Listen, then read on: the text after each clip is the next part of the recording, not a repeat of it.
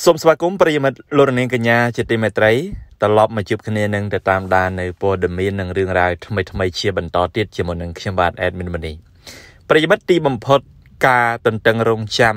របស់បងប្អូនដែលចង់ទស្សនា MV របស់កំឡោះតូចបាទ Idol Limited មេង MV ដំបូងនៅក្នុងឆាកជីវិតបាទ MV ដំបូងនៅក្នុងផលិតកម្មរស្មីហងមាស បានចេញហើយគឺបតអរគុណ fan ដែលទទួលបាននៅការគ្រប់គ្រងច្រើន ពីសំណាក់បងប្អូនដែលជា fan fan របស់គាត់បាទដូច្នេះនៅក្នុង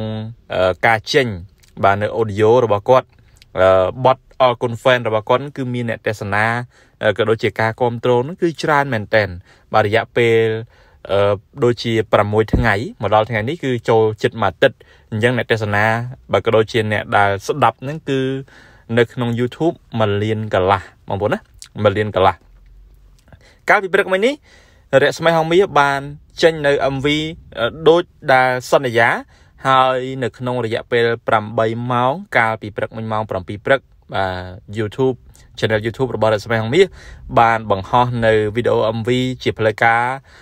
របស់ បើអាចដល់តូចលឹមតិចមេងបត់ដែលមានចំណងជើងថាអរគុណ fan រយៈពេល8ម៉ោងហ្នឹងគឺអ្នកទេសនារហូតដល់ទៅ 190k បាត់ទៅហើយបាទទេសនារហូតដល់ 190k បាត់ទៅហើយអ្វីដែលជាការកត់សម្គាល់នៅក្នុងសកម្មភាពបាទក៏ដូចជាវីដេអូ MV របស់លឹមតិចមេងបាទគឺដើរអរគុណ fan ពិតប្រកបមែនតែម្ដងបាទដើរអរគុណ fan fan ដែលគ្រប់គ្រងរបស់ខ្លួនបាទមានដូចជាអាជីវករសិស្សសាលា បុគ្គលិកក្រុមហ៊ុនបងបង ដែលជាបច្ចេកបជាការពារព្រះសង្ឃបជាបរតចាស់ក្មេង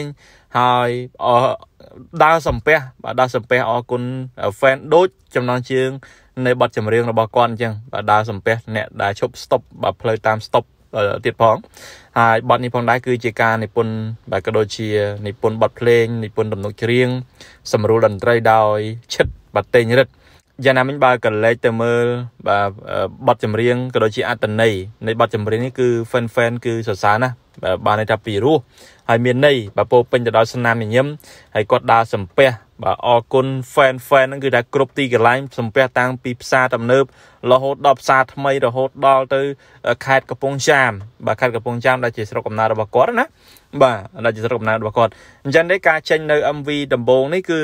ធ្វើឲ្យអ្នកគ្រប់គ្រងរបស់គាត់ហ្នឹងគឺមានការពេញចិត្តខ្លាំងមែនតើពេញចិត្តខ្លាំងមែនតើបើទោះបីជាមិនទាន់បានល្អឥតខ្ចោះអត្តបិតទៅជាអឺវាជាបទចម្រៀងក៏ដូចជា MV ដំបូងដូច្នេះហើយមិនទាន់បានឥតខ្ចោះទេ បើតែយ៉ាងណាក៏អាចទទួលយកបានដែរបើតែយ៉ាងណាអាចអាចទទួលយកបានដែរអញ្ចឹងក៏បត់ក្រោយក្រោយទៀតអាចនឹងល្អជាងនេះបន្ថែមទៀតហើយអត្តន័យបើក៏ដូចជាចង្វាក់ភ្លេងណាចង្វាក់ភ្លេងអាចនឹងបត់ក្រោយគឺជាបត់មនោសញ្ចេតនាអញ្ចឹងទៅគឺស៊ីជាមួយនឹងអារម្មណ៍របស់គាត់ទៅគឺបងប្អូនប្រកាសជាដកជាប់នៅក្នុងបេះដូងជាងបត់បាទអរគុណ Fair នេះផងដែរបាទប្រិមិត្តជាទីមេត្រីក៏សូមបញ្ចប់នៅបាទព័ត៌មានតកតនទៅនឹងបាទសិល្បៈនេះត្រឹមតែប៉ុណ្្នឹងយើងនឹងរងចាំទស្សនាបទ ស្ដាប់បទថ្មីថ្មីរបស់លឹមតិចមេងជាបន្តបន្តទៀតពីព្រោះគាត់ថតជាមួយនឹងអ្នកមនាងសិទ្ធិនិកាមិនទាន់ចេញទេហើយក៏ចិត្តចេញឆាប់ឆាប់នេះផងដែរសង្ឃឹមថាភ្ជុំហើយនឹងគឺអាចនឹងមានបទចម្រៀងទី2របស់លឹមតិចមេងដែលចេញជាផ្លូវការហើយមកទៅប្រិមិត្តជាទីមេត្រីក៏សូមបញ្ចប់នៅព័ត៌មាននេះត្រឹមតែប៉ុណ្ណឹងក៏ជូនយ៉ាងណាក៏សូមអធិស្ឋានជួបគ្នាជាថ្មីនៅវីដេអូក្រោយៗជាបន្តបន្តទៀតបាទសូមអរគុណ